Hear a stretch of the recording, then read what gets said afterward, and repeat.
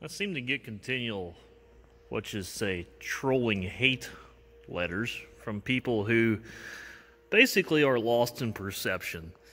Perception that they see big shiny equipment and have the direct assumption that it's paid for, yet really have no clue what we pay for payments or our annual budget. If I did put all that information out there, they'd probably still complain about it or try to micromanage your operation when the truth is they have no clue what they're talking about. One of the things we do is we lease equipment. We also own equipment, such as older equipment like this disc that I spent uh, $1,800 uh, to buy the disc. It came out of Platte Valley John Deere. It was basically stuffed in the weeds. It's all fixed up, 100% back to original condition, and it works great. Things like this you don't see in the videos. Things like this take hard work and sweat, which most people are not willing to do. And it takes commitment. It takes a love for what we're doing, and we got a nice disc because of it. A lot of people would just be jealous that we even have this disc. So let me explain a little bit about tractor leases, why we do them, as to why they're a good idea or not a good idea. In my last video, I made reference to the farm crisis that's going on and the Trump bailouts. One of the things that really drives me nuts about this current situation that we're in with agriculture is just the ability to know where your budget's going to be. And when the government dangles this proverbial carrot in front of your nose of 14.5 billion that mysteriously you've never seen a single cent for, yet they keep telling you it's going to be coming, makes it awful hard to say I need to go buy something to balance out in tax deductions, or I may not have enough income to get through the year you just don't even know where you're at. It's kind of like your boss telling you at work, hey, you may get a paycheck, and it may be $500, or we may not even pay you. You try to figure out your budget. Nobody would. Nobody would be able to do that. And my channel also catches a lot of people that are unhappy because I made reference to getting a farm bailout, yet for some reason they think, oh, you got all new equipment. It's all magically paid for somehow. Believe me, our equipment is not magically all paid for. Our actually our top bigger tractors are lease tractors. We lease our tractors because we pay about thirty thousand dollars a year for those leases. Now, everybody says, "Whoa, thirty thousand! How could you have that around?" Well, here's how you have it around. Let's go over here to a simple calculator on the old Tractor House website.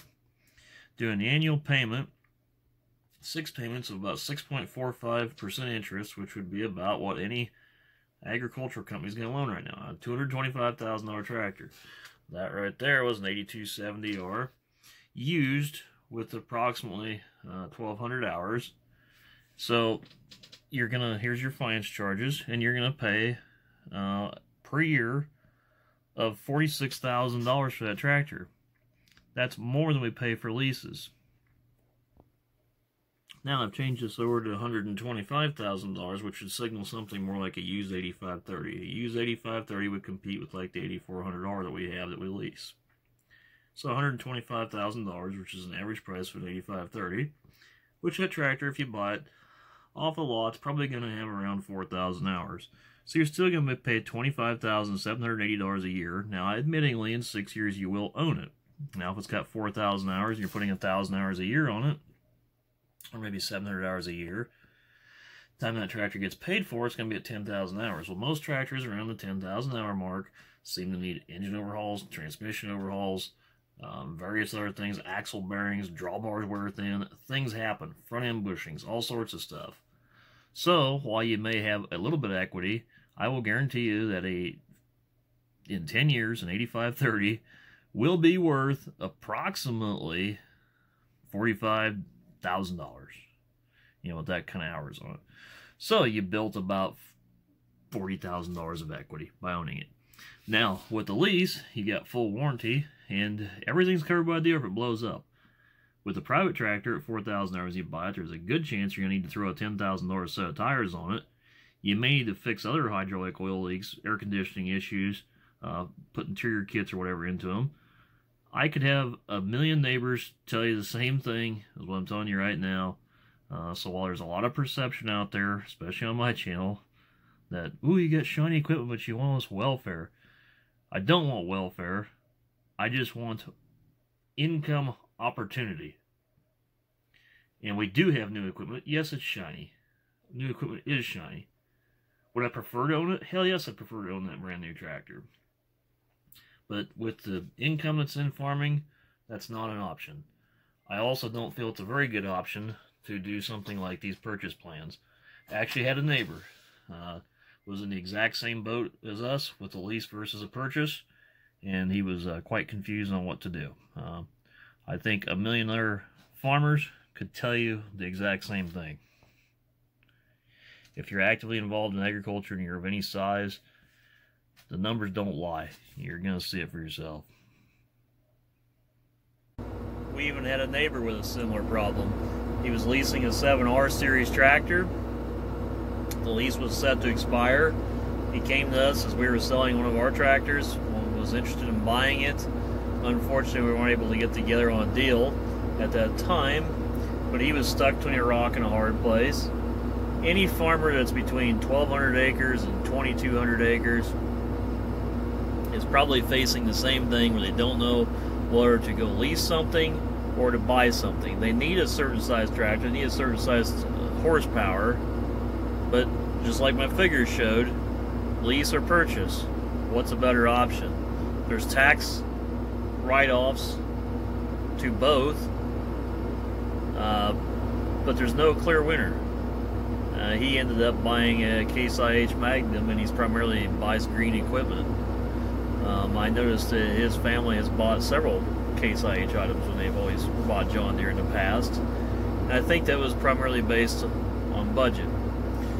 But again, to reiterate my point, people that don't have large enough incomes or didn't have productive grounds to just have the cash to go buy something are faced with a financing option and it comes down to what's the best course of action to go there. So while you see shiny green equipment out in the field or shiny red equipment out in the field, sometimes it's not theirs, it's basically a rental agreement, and financially what they take home is not always that much income.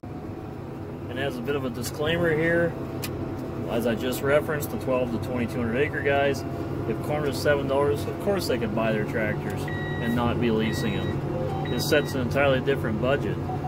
If you had a town job that paid $35 an hour instead of $12.50, don't you think you could buy a Lexus versus a uh, 92 Chevy Lumina? Simple math. You can build equity with a lease. For example, a tractor like this, this 8400R, may have a new selling price if you walked in the dealership and buy it cash 360000 uh, if you lease it say the price is 360 they're going to give you at the end of your five years your lease buyout would be probably 250 area uh, you can lease it again after you're into your five year lease or you can just turn it back in depending on what you want to do with it now, if you lease this tractor, it's 360 new, and your lease buyout at the end of five years is 250,000.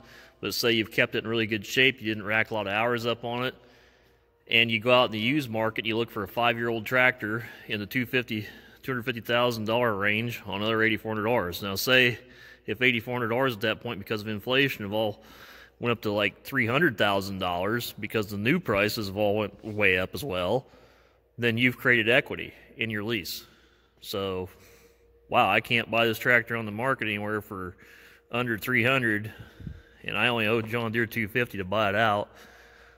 You you created equity. Now, if you beat the tractor up and your lease is 250,000 buyout, but you go on the internet and there's a whole ream of these things selling for like 225, then you've lost money uh, with the lease. It's a roll of the dice based off of inflation. It's based off of current interest rates. It's based off of how the equipment was kept. It's based off what models are out there. A lot of variables can go into whether you obtain equity or not in a lease tractor. Or you can do what I would do lease it for five, lease it a second term for five, because that's as long as John Deere will lease, would be 10 years or so many hours, but we'll have it for 10 and then you can buy it with a six year financing thereafter. That gives you basically 15 year financing. Yeah, it drags out to agony. Yes, the tractor will be wore out at the end of the 15 years. There'll be a little equity in it, but that is the plan.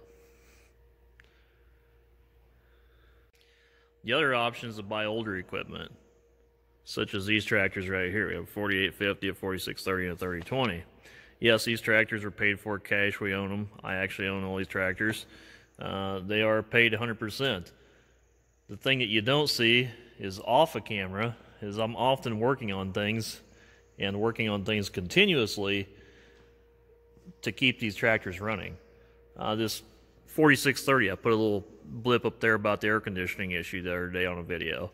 Thing I didn't say was we have to open up the whole cab top, blow out the vents, a uh, couple wiring issues on the air conditioner up there, and various other problems in the cab's HVAC system. Again, they're not filmed, and those are downtime out of the field. Those are knuckle breaking, uh, 95 degree days out where you're up there sweating in the shop, you know, busting your rear trying to get this thing back to working order. This tractor will have more problems. It's got a leaky hydraulic pump right now. And I got a couple other issues going on through rear end that needs to be addressed. 3020, I need to do some work to the engine. I got an oil cooler leaking. We just got a front axle, the uh, steering motor seal put in. There's just always things that show up on older iron that need to be addressed. Now this little 4630, I've got it looking pretty good. However, is it cheap? Really, probably not. I've spent money on interiors. I've updated steps just so they'll fit around the loader. We had engine overhauls. Plus, you had to buy the tractor cash. If you give 15 for it, then you give several thousand dollars of parts, a thousand in the interior, pretty soon a five thousand dollar engine overhaul, maybe you got to put eight thousand in the rear end. You got more money sitting in a 1977 tractor than you would have if you just saved up a little bit more, went out and bought like a 6195 uh, M or something newer. So sometimes older is not always cheaper. There are other factors to consider as well, such as this monitor right here. This 8400R has this monitor built right in. This would be called a 4640 display if it was to be used in such as like that 4850. That display is going to be at least $5,000 with the unlocks on it, probably more time you get Swath Pro and a few other things that you have to unlock for your planter row clutches. And then you have to buy a Greenstar Universal wiring harness kit for the tractor. That right there is going to be $1,500. Then you got to buy a globe. So pretty soon you got $7,000 in, in a minimum in a technology.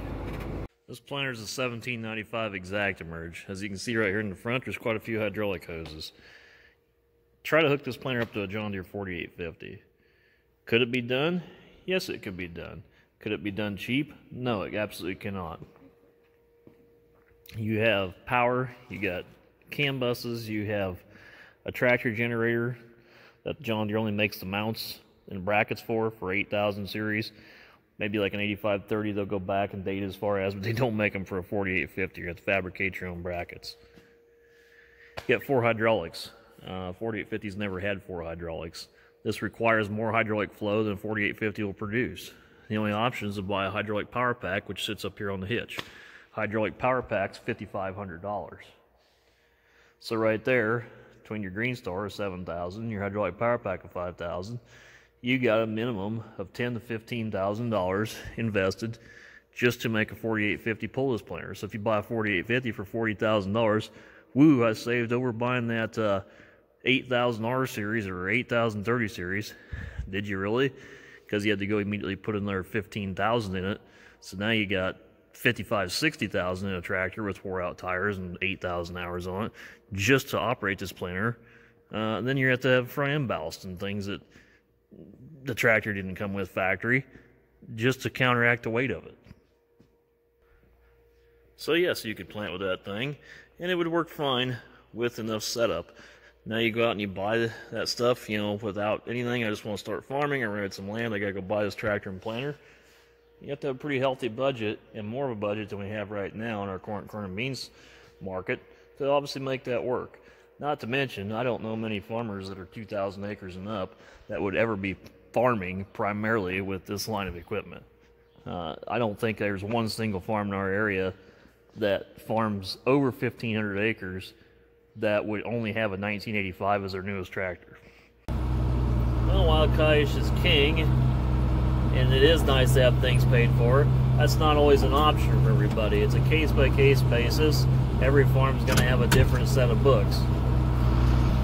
For our operation in particular, we couldn't get over the acres or do the things that we want to do unless we did take some of those lease long-term finance opportunities.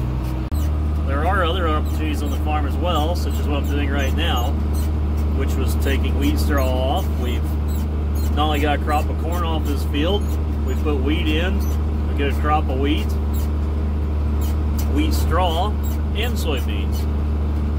So we're using the field multiple times to increase our income. Yes, it's much more work, but we're utilizing what we have to make additional income for ourselves. Again, a case by case basis. I think there's certain people out there just want to be entertained. They want to watch YouTube maybe to alleviate some stress or just be simply entertained. There's a lot of channels out there. I watch uh, Big Tractor Power. Uh, he does a great job of filming just tractors and talking about them and their information. Uh, and that's an entertainment-based channel because you don't know the guy's political uh, or religious beliefs. He strictly stays in certain content. And I think my channel, uh, when I stir up a certain bit of controversy or say hardcore facts that maybe some people just don't want to face, it uh, not always an entertainment factor as there is a um, defense mechanism gets triggered. I don't think a lot of people like hearing the truth either. They like to, to have a way of relief and they don't want to hear the facts of the real world. And uh, for those people, including some uh, neighbors that are jealous as holy hell, I think a lot of them are just too damned ignorant to, to realize that UCC filings are public information. You can check just about anybody's loans on just about anything. Uh, public record, not hard to do with a simple Google search. Again, most farmers have a case by cases financial situation. Every single farm is going to be different from the land that they farm to their geographic location and what crops they farm. On our own farm, I do the things that allow my budget to grow. I do the things that allow my business to flourish. I try to remain as fiscally conservative as possible, but allow as much growth as possible at the same time. Two things that are not easy to balance. And I use YouTube as a platform to share a small amount of my story. Again, you don't see everything I do, but you do get a blip, or I bring things to life that are, let's just say, sometimes controversial, not everybody wants to hear. For that fact, I have a video I've been wanting to do for some time, and I think I'm going to be going ahead and publishing it here in the next week or so. I wanted to make sure I got my facts and figures in order, but it's going to be about our Iowa government legislators and why I think it's very important to bring certain things to light.